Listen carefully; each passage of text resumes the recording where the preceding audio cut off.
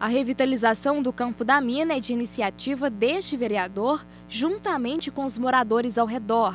Além da limpeza do local, mudas foram plantadas e as torneiras recuperadas. É, infelizmente foram roubadas as torneiras, o reservatório de água estava contaminado, nós tivemos que esgotá-lo, tirar toda a lama e, e o lodo que estava desinfetamos todo o reservatório, trocou a tampa, que tinha uma tampa de ferro, ela estava contaminando a água com, a, com ferrugem, fizemos uma alvenaria, parte dos pedreiros da prefeitura, que vai meu agradecimento, e o plantio de árvore, com parceria, com algum amigo, como por exemplo o Tony da Bonda, que é um morador aqui da comunidade, está sempre ajudando nessa manutenção, nessa conservação e hoje está aqui como voluntário de novo, nos ajudando a fazer esse trabalho. O senhor Antônio é o primeiro morador do local e há anos espera por alguma ação que pudesse recuperar o campo da mina.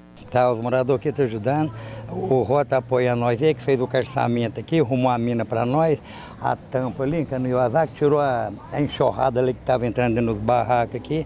Nós agradecemos muito o Ró, ele o prefeito mesmo, o Demir, agradecer muito também.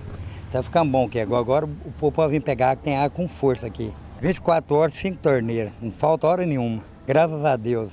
Então nós agradecemos o prefeito Demir, o Rô está aqui trabalhando com nós aqui, que se não fosse ele, tinha nada feito aqui não.